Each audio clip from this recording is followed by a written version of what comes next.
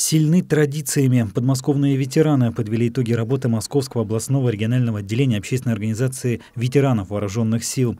Отделение зарегистрировано в Щелкове, поэтому итоговое заседание комитета провели во Дворце культуры имени Чкалова. В работе собрания участвовали 66 человек, члены контрольно-ревизионной комиссии и руководители 27 местных отделений. По словам лидера региональной организации Владимира Рабеева, главное в работе ветеранов вооруженных сил – сохранение и защита памяти о подвигах наших офицеров. Первостепенное внимание было уделено вопросам сохранения и защиты исторической памяти, борьбы с попытками фальсифицировать итоги Второй мировой войны, переписать историю. В ответ на выпады западных СМИ в отношении итогов Великой Победы ветераны вооруженных сил совершили несколько поездок по местам боевой славы в Крым, Белоруссию, Германию, где встречались с ветеранами и жителями городов. Свой проект ветераны назвали «От 75-летия подвига защитников Брестской крепости к 75-летию Великой Победы». В составе делегации участники войны, свидетели событий Великой Отечественной. В этом году за активную общественную работу впервые отмечено не одно, а три местных отделения подмосковной организации.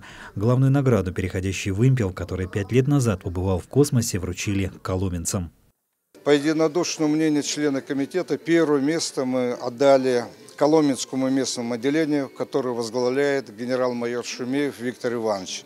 Очень динамично развивается отделение, выпускает свой информационный бюллетень, много работает с фронтовиками, ветеранами боевых действий. И поэтому по достоинству мы отдали им первое место. На сегодня организованная часть нашего общества – это офицеры, это, это я так считаю, ветераны вооруженных сил. У них установка служить Родине – заниматься военно-патриотической работой, готовить себе достойную смену. Вот в этом направлении идем. Почему мы хотим увековечить Коломенское высшее артиллерийское командное училище? 200 лет. На протяжении своей истории оно постоянно воевало.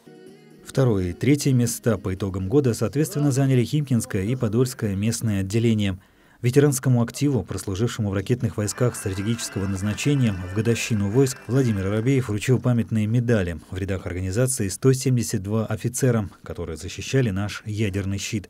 Отметили также активного члена ветеранской организации Евгения Тарелкина, участника эксперимента «Сириус-19» по имитации полета на Луну.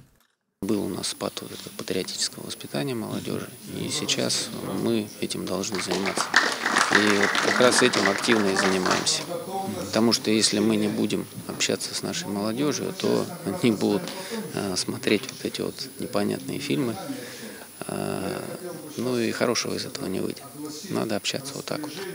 Лидер региональной организации отметил, что продолжит добиваться улучшения социального положения ветеранов вооруженных сил, укреплять институт кураторов, чтобы как можно большему числу молодых людей офицеры могли рассказывать о героизме советских и российских воинов.